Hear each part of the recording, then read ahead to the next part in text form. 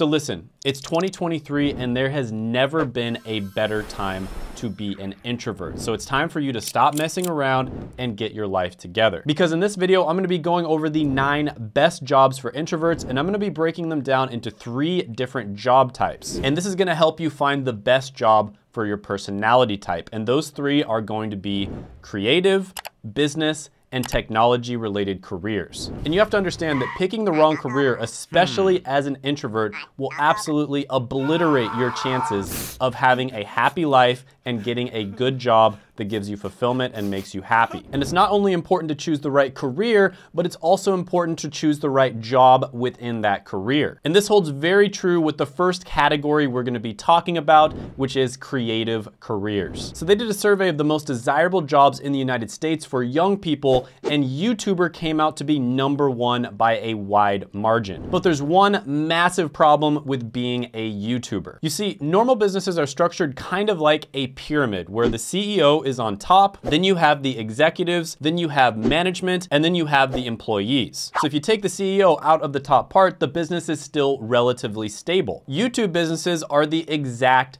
opposite where you invert that pyramid. The CEO is at the bottom, then you have executives, then you have management, and then you have employees. If you take the CEO out, the pyramid is unstable and it's not able to keep standing, right? So you can't have Linus Tech Tips without Linus. You can't have Mr. Beast without Mr. Beast. And so it's extremely difficult for people who own these massive YouTube brands that are sometimes evaluated at billions of dollars and have hundreds of employees to outsource some of their creative work. And one of those positions that's incredibly incredibly difficult to outsource is script writing. So what a lot of people don't realize when they're watching YouTube videos is 95% of the things that happen, for instance, in a Mr. Beast video are planned, they're scripted. Of course, there's always that 5% of things that happen out of the blue that they end up keeping in the final cut. But in order to make sure that they have a really good video, they have to have control over what happens, AKA scripting and planning. And script writing is a position that is incredibly difficult to fill. I know hundreds of different content creators and almost all of us have to train script writers, right? There's no infrastructure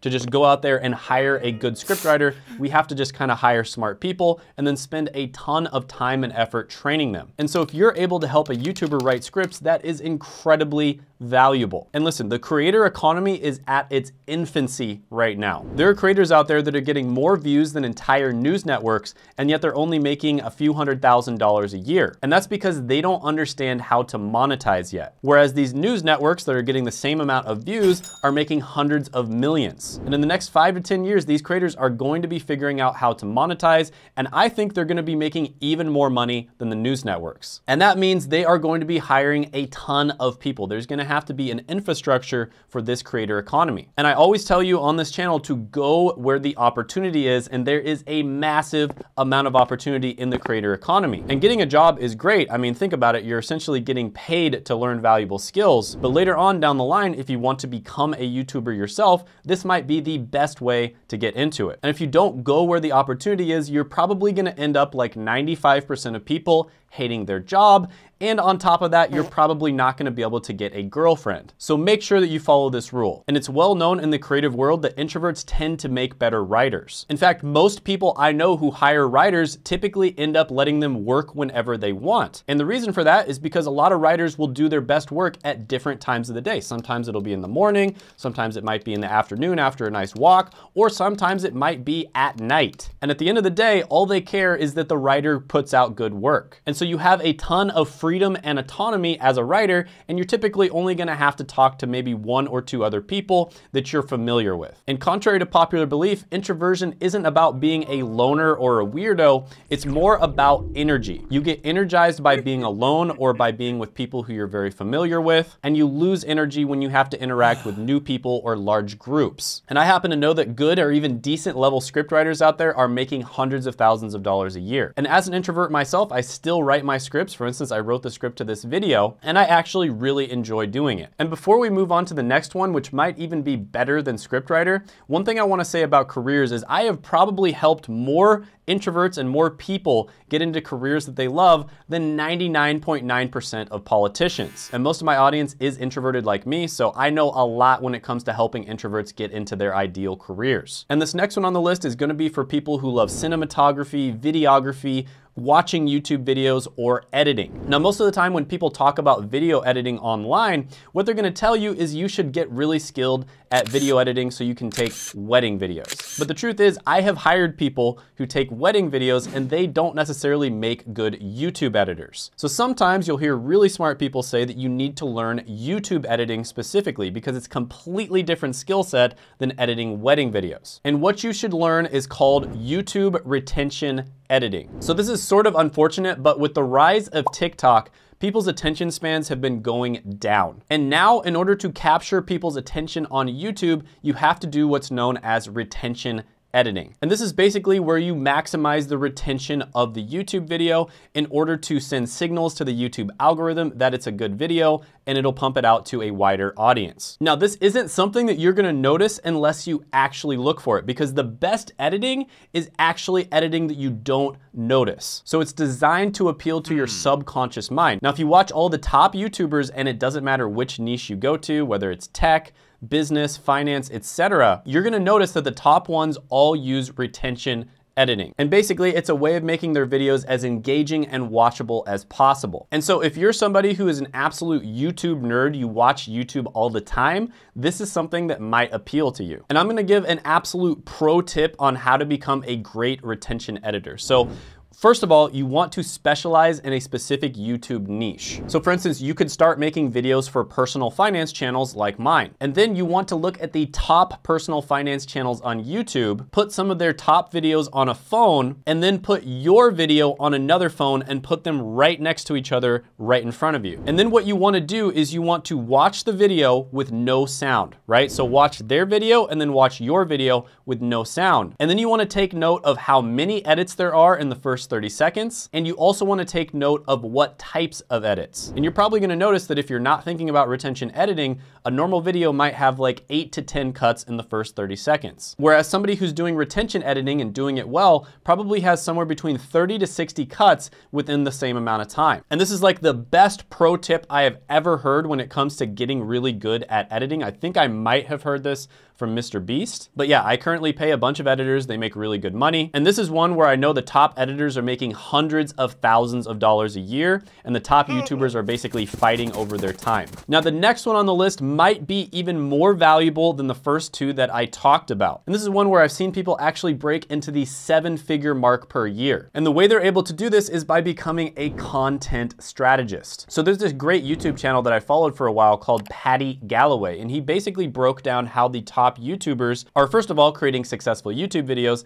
and then second of all, monetizing their content. And Paddy Galloway started by making content on YouTube, and he was able to leverage that into becoming the content strategist for Mr. Beast. So a content strategist for a YouTuber is almost like being a general for a king. You're gonna help them come up with the content strategy to beat the algorithm. And there's gonna be a ton of research, organization, analysis, and planning skills that go into that. So if you're the type of person who likes to kind of plan things behind the scene, like you like being the person who's behind the curtains pulling the strings, but you don't wanna be the face of the organization, this can be a phenomenal career for you. Now, not everybody wants to get into creative careers, so the next set of careers I'm gonna talk about are going to be business related. Now, most people think that you have to be an alpha male, bad boy, extrovert in order to be successful in business. But the truth is the most successful people in business are introverted, nerdy types. I mean, think about the richest people in the world. Do they look like extroverts? Do they look like alpha males to you? So don't be afraid to learn business if you're introverted and nerdy because it's probably an advantage. So this first career has to do with ads. And every single year, trillions of dollars are spent on advertising. And if a company does a good job advertising, if they spend $1,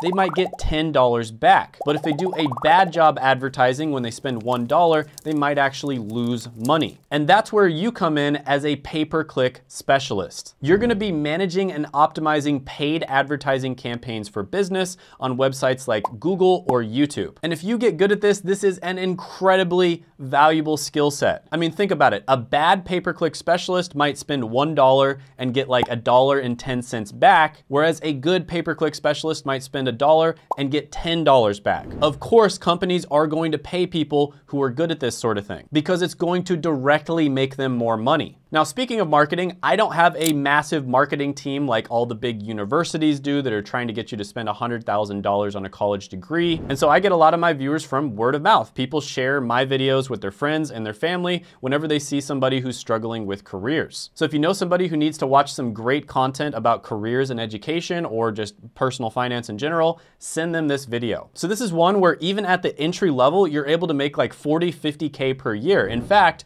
I actually did an interview with James, who is a 16 year old who was able to get a job in digital marketing, and he was able to make $40,000 a year right off the bat. And James was trained by my friend Seth, who has literally trained thousands of people to become digital marketers. And he has a free training that will basically go over the different types of digital marketing and whether it's a good option for you depending on your personality. And I'll put that down in the description as well as the pinned comment below. Now, the next one on the list is going to involve Google. And every single day, there's 8.5 billion searches on the platform. And all the different websites compete with each other to be at the top of the search results when people search those terms. And the process of getting the articles on your website to be at the top of the search rankings is called search engine optimization or SEO. And this is where you come in as an SEO specialist. Now this is especially good for analytical types that like deciphering Google's algorithm and figuring out what makes articles rank at the top and what makes them rank at the bottom. And SEO is not only about figuring out what the best terms are and the best way to title your article, but it's also about making the most valuable content that you possibly can so that people stay on your article for a longer amount of time. And they also have a good experience while they're reading it. And this is another one where SEO specialists tend to work independently. You don't have to talk with that many people, and the people that you do talk to, you're going to be familiar with. Now, the third one on this list might come as a massive surprise because it has to do with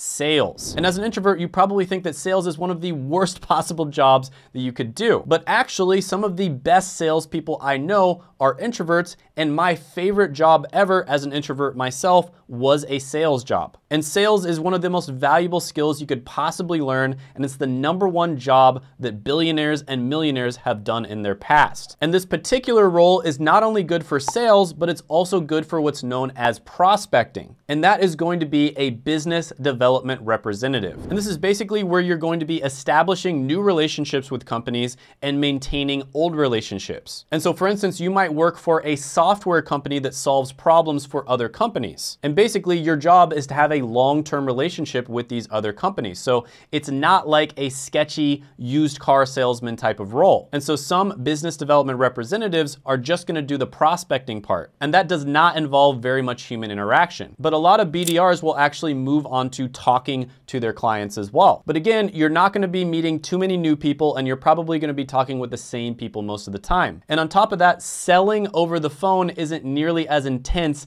as selling one-on-one -on -one in person. Now, unfortunately, contrary to what the news might say, you can't just identify as a top-level salesman because objective reality kind of gets in your way. This is something you're gonna have to work at. But if it sounds like too much for you, I think you're really gonna enjoy the next three on the list that have to do with technology. So technology is probably the number one industry you could possibly work in. There's more opportunity in the tech industry than any other industry out there. And pretty much every successful business now is using a ton of technology, both hardware with computers, phones, iPads, etc., and also software. And in order to maintain that technology infrastructure, you're going to need people in the IT department. And that's where IT help desk comes along. And in my opinion, this is probably the easiest position that you can land to get your foot in the door in the technology industry. So this position position as an introvert will allow you to work independently and it will also allow you to solve technical issues. And yes, you will be having to answer phones and talk to people, but a lot of the time it's going to be people in your company that you already know. And again, talking to people over the phone isn't nearly as bad for introverts as talking to people one-on-one -on -one in person. Plus, there's a ton of great jobs that you can move into in the future. Now, this is another one where you're probably gonna start off around 40 to 60K per year, but you can move up into much higher paying jobs than that in a short period of time. Now, one of the reasons why the technology industry has so much opportunity is the fact that technology companies figured out how to collect a bunch of data.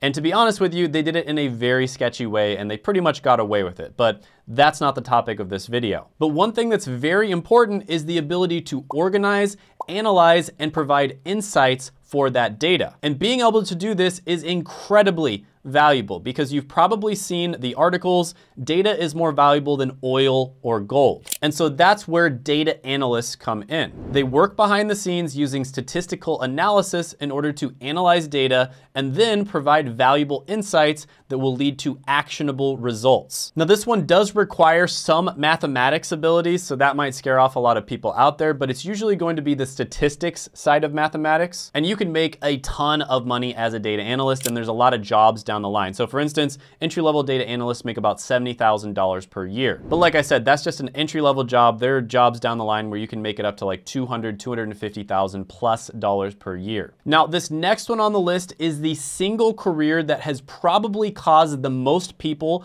to be able to retire at an early age. Sometimes 40s or even 30s. This is the number one career that you see in the financial independence retire early movement, and that is going to be software developers. And basically everything that you see on the internet was created by a software developer. So for instance, this YouTube channel, you're watching this on YouTube, I would assume, that was created by software developers. The algorithm that suggested this video to you was created by software developers. The phone or the TV or the computer that you're watching this on was partially created by software developers. And software development is basically the ability to speak the language of robots and command them to do whatever you want. And they make a ton of money. Even the entry-level software developer job makes about $95,000 a year. And if you look at websites like levels.fyi, you're gonna see plenty of people who make 200,000, even 300,000 dollars a year when you consider not just the salary, but also the bonuses and stock options. Now, this is one where I'll say it's a little bit more difficult to get into than a lot of the other ones on this list. Almost every single other one that I mentioned here, you could probably get into within like three months, maybe six months max. But for software developer, it's probably gonna take you a little bit longer than that. But yeah, this is another career that is absolutely dominated by introverts. And introverts do tend to love remote or semi-remote And I actually created a tier list where I ranked the best and the worst remote jobs from S tier, which is the best, to F tier, which is the worst. And you can check that out by clicking right here.